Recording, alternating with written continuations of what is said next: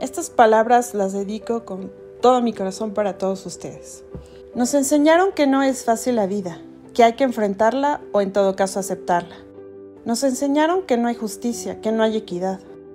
Nos enseñaron a seguir reglas impuestas por otros para nuestro bien. Nos enseñaron a no debatir si algo ya es ley, ya sea de la ciencia, de la religión o de la vida en general. Nos mostraron el camino a seguir de acuerdo a patrones establecidos. Nos enseñaron a mentir para ser parte de una masa mayoritaria y esconder nuestros verdaderos sentimientos o pensamientos.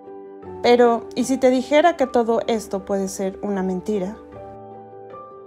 Sí es posible tener una vida sin dificultades constantes, porque depende de nosotros tomarlas para depresión, angustia, estrés o tomarla como enseñanza y reto para cambiar lo que las haya provocado. Sí existe la justicia y el equilibrio, pero no te lo dará alguien desde fuera, sino creándolo tú mismo.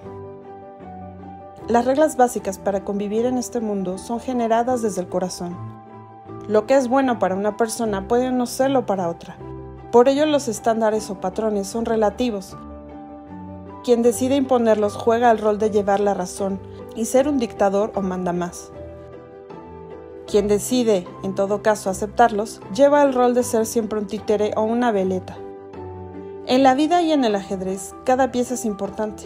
Para ganar menospreciar a un peón puede ser la diferencia entre un jaque mate o la libertad. Pertenecer a un grupo es importante en esta sociedad, pero primero hay que amarse a uno mismo, conocerse a uno mismo, tanto el lado de luz como el de oscuridad. De lo contrario, podemos caer en la trampa de actuar o reaccionar como la manada dictamina, y no realmente con nuestro libre albedrío. Estudiando nuestro yo interno, alimentándolo con lo necesario para un equilibrio armonioso, nos dará respuestas que aliviará nuestro interior y por lo tanto nuestra salud mental y física encontrará el balance adecuado para funcionar.